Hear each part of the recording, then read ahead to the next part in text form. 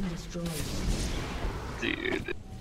And now that like I hate the fact that they made him like go through puberty and like his voice is so bad now.